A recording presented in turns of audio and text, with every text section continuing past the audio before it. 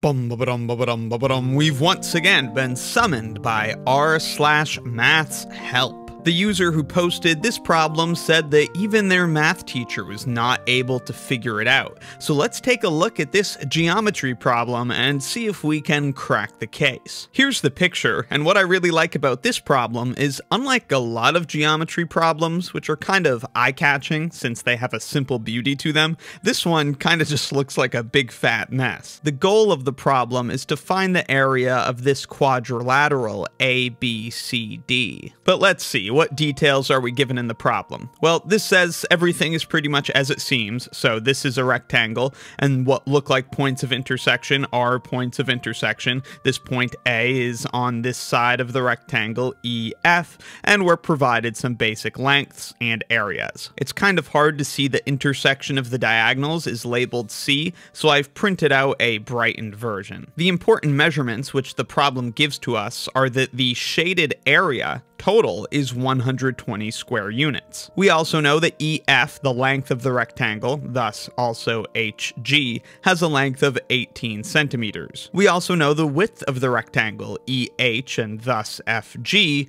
are 12 centimeters long. And again, with all this information, it's our objective to find the area of that quadrilateral ABCD. We know a lot of information here. We know the length and width of the rectangle, and thus the total area we know that the heights of these two non-shaded triangles are both 12, which is the width of the rectangle. We also know the height of this shaded triangle, since its height is from the base to that point C where the diagonals intersect, and that must be halfway up the rectangle. That's where the diagonals intersect. So this height would be 6. In fact, among the triangles that lie on the rectangle, the only ones whose heights we don't know are this one, EDH, and this one, FBG, two of these shaded triangles. But let's see if we can figure out those heights since we do know the shaded area. It will of course be convenient to label the heights of these triangles.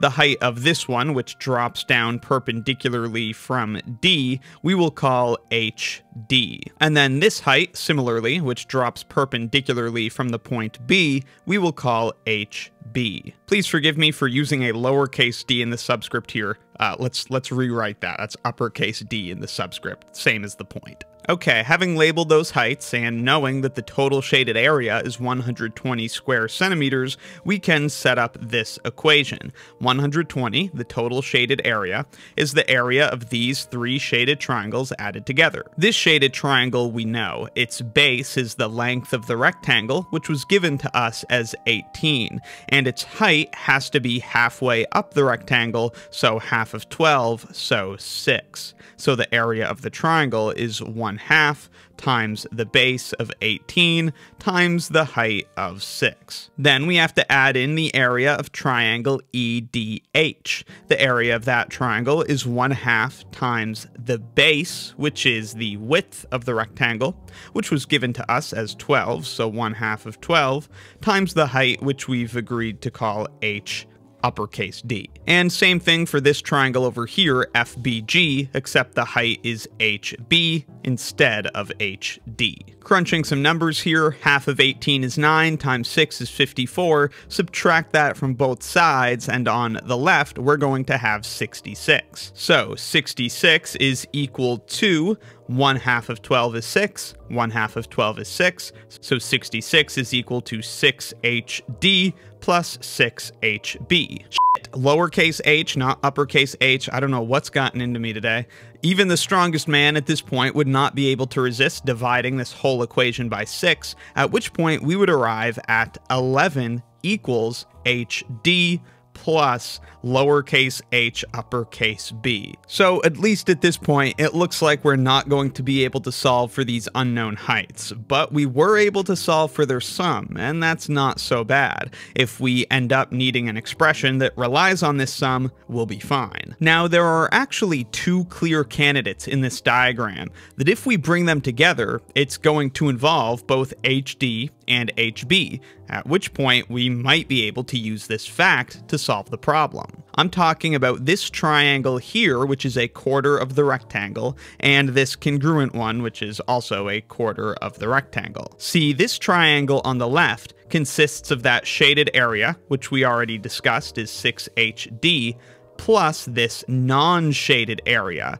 which would have to be 54 minus 6HD. 54 because this triangle is one of the four triangles that the diagonals cut the rectangle into, and the diagonals of a rectangle are known to cut it into four equal area triangles. The total area of the rectangle is 18 times 12, and a fourth of that is 54. So this triangle has 54 square units of area, consisting of this shaded 6HD area plus this unshaded area. Similarly, with this triangle over here, it has 54 square centimeters of area, consisting of 6 HB in the shaded region and some unknown amount in the unshaded region. Thus, these two unshaded regions, which I'm shading with my pencil, have areas that we could calculate in terms of 6HD and 6HB. If you bring those two penciled regions together with this triangle, whose area we know, and the quadrilateral area that we want to know, that outlines this big triangle H HAG, a triangle with an area that we also know. Indeed, the area of triangle HAG is 1 half base times height. The base of the triangle is the length of the rectangle, which was given to us as 18 centimeters, and its height is just the width of the rectangle, which was given to us as 12 centimeters. This is an area which, of course, we can break down into little pieces. This shaded triangle, HCG, which we've previously discussed. It's a quarter of the rectangle. It has an area of 54 square centimeters. And then, as we said, this penciled region HDC, that's 54, a quarter of the rectangle, minus 6HD, the shaded region that's not included. So 54 minus 6HD. Then we also have to include this unshaded sliver, CBG, which again is 54, this quarter of the rectangle, minus the shaded part, 6HB. The only part left to make up the entire area of the triangle HAG is that unknown quadrilateral ABCD. Forgive me having to go to a second line to add in that last bit of area, which we'll denote with square brackets, so the area of quadrilateral A, B, C, D. You can see now the solution will quickly give way. Negative 6HD minus 6HB can be turned into 6HD plus 6HB by factoring out a negative. We know that is 66. That will leave ABCD as the only unknown area. Alright, so 1 half of 18 is 9, times 12 is 108, so we have 108 equals 54 plus 54 plus 54 is 162. Then minus 6HD minus 6HB is minus 6HD plus 6HB. 6HD plus 6HB is 66. So that's minus 66. And of course, the last thing on the right side of the equation is plus the area of quadrilateral ABCD. Then busting out our trusty calculator to crunch the numbers here, we have 108 on the left side of the equation minus 162, and then plus 66, giving us a final answer of the area for ABCD of 12. And going back to the original post, we see that was one of the possible answers that was answered choice B. So all things told, I don't really think that was a particularly difficult problem, but I definitely enjoy how sort of ugly and clunky it looks at first glance with all those crisscrossing lines. Mm-hmm.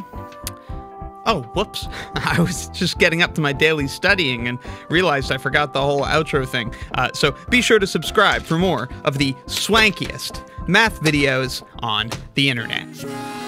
I'm unstable, feeling hard to keep the cable cut and untuck the cable. If Texas Instruments don't reply, I think this time it might be fatal. Which to sell my fake, cause I'm jaded. Hate the odds that I calculated. Press and pull and pray and push it all the way through the whole blue planet faded. Psychosomatic habits, why you so, so